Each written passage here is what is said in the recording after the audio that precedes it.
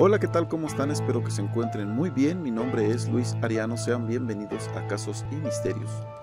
Muchos de nosotros alguna vez escuchamos sobre este terrible y cruel homicidio sobre el famoso caso de Cumbres, el cual conmocionó a todos por la manera y forma en que sucedieron los asesinatos de los menores de edad. Pero ¿cómo fue la masacre de Cumbres?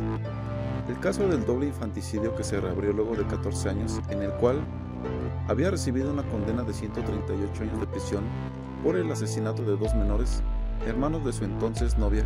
¿Quieres saber más de esta historia?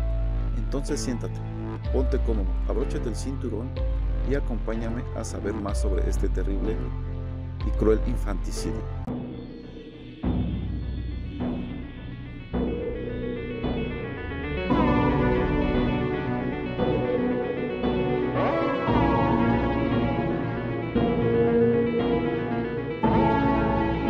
Diego Santoy Riverol fue acusado del asesinato en 2006 de dos hermanos de 7 y 9 años de edad en Monterrey, Nuevo León.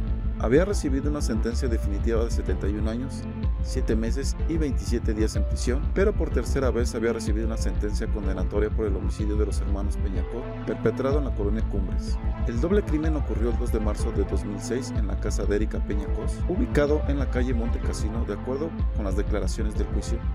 Los niños fueron asesinados en su casa después de que Diego la visitó para intentar dialogar y así reanudar su relación. Ambos se habían conocido en la fiesta de 15 años de una amiga mutua, mientras Diego estudiaba ingeniería y había incursionado en la conducción televisiva.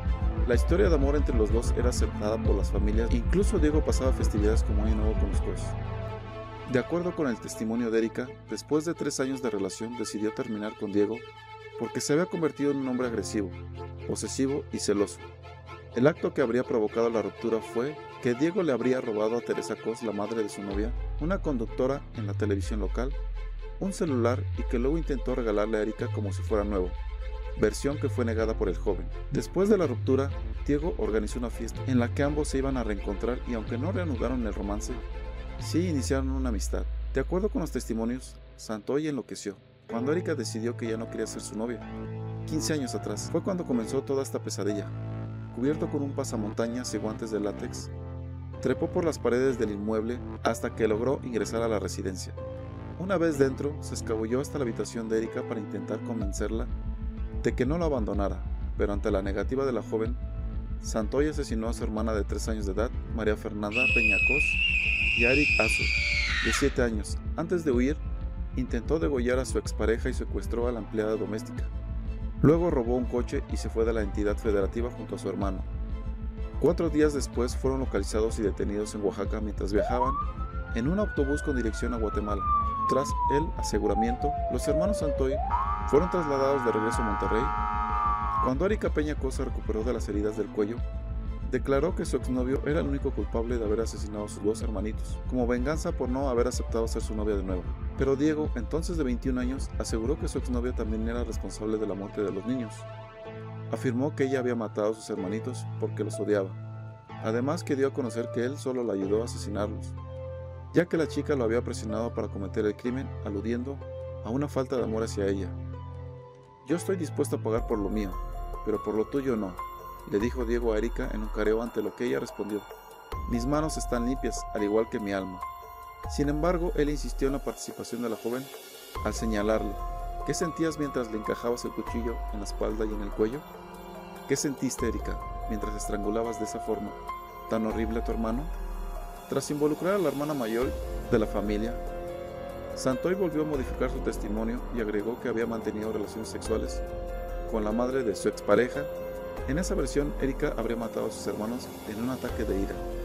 A pesar de que Diego Santoy insistió en las declaraciones en contra de Erika, las autoridades dijeron que no existían las pruebas necesarias, por lo que el 11 de octubre de 2010 fue condenado a 138 años de cárcel por los delitos de homicidio calificado contra los niños, privación ilegal de la libertad, robo de vehículo y tentativa de homicidio. El caso del llamado asesino de Cumbres fue tan famoso que se filmó una película llamada Cumbres, del director mexicano Gabriel Nuncio. Incluso hubo gente que se formó grupos de admiradores de Diego Santoy, quien se casó en prisión con una de las fundadoras de estos grupos. Erika se casó y vive en el estado de Guanajuato. Su madre también desapareció como figura televisiva y toda la familia abandonó la ciudad de Monterrey.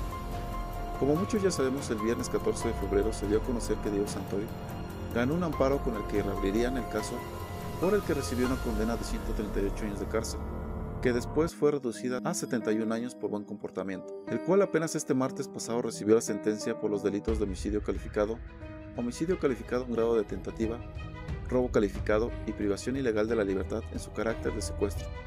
El hombre conocido como el asesino de Cumbres probablemente pasará el resto de su vida pagando su condena en la cárcel. Además de la privación de su libertad, Santoy tendrá que pagar 217.139 pesos por reparación de daños tras el asesinato de los menores Eke Azur y María Fernanda Peña Cos y León. También deberá cumplir con el pago de 23.400 pesos a Teresa Guadalupe Cos y León Navarro por tratamiento psicológico, 10.400 a Erika Peña Cos por tratamiento psicológico, así como 23.400 a Catalina Bautista Juárez por tratamiento psicológico. Aunado a esto tendrá que cubrir 53.390 pesos de gastos por estudios y atención médica y otros 10.030 pesos por incapacidad parcial a Erika Peñacos, con lo que se acumula un monto total de 337.760 pesos. No cabe duda que esta historia sigue dejando a muchos con preguntas sin resolver. ¿Realmente fue él quien asesinó a los dos inocentes? ¿O también tuvo participación su exnovia? la hermana de los dos niños asesinados, podemos observar a veces cómo de un gran amor de dos personas, a veces por celos, inseguridades o la falta de comunicación, falta de confianza, puede una mente llegar a pensar en hacer todo esto, no solo echando a perder sus vidas, sino la vida de las personas inocentes. ¿Realmente vale la pena llegar a estas situaciones por amor? Si así se puede decir. ¿Cuántas parejas en estos momentos atraviesan esta misma situación? romances, separaciones y demás cosas. ¿Cuántas veces hemos visto violencia en parejas, violencia en la familia, que pueden llegar a desatar otra situación como esta? ¿Hasta dónde es capaz de llegar la mente humana en este tipo de situaciones? ¿Tú qué piensas de todo esto? ¿Realmente vale la pena hacer todo este tipo de cosas cuando la relación ya está fracturada? ¿Llegar a estos grados teniendo que arrepentirse toda tu vida por tomar malas decisiones que te dejarán marcada para siempre? o marcado para siempre? Me gustaría saber tu opinión. Ya sabes que si deseas hacerlo, puedes dejar tu comentario. Ya sabes que si este video te gustó, dale like, manita pulgar arriba. Compártelo con tus amigos y en tus redes sociales. Eso me ayudaría mucho a seguir trayendo este tipo de historias para todos ustedes. Si no te has suscrito al canal, te invito a que lo hagas activando la campanita de notificaciones para que YouTube te avise cada que subo un video nuevo y no te pierdas ningún caso como este. Y bueno, por mi parte ha sido todo, les mando un fuerte abrazo, nos vemos en un próximo video y recuerda que esto fue Casos y Misterios.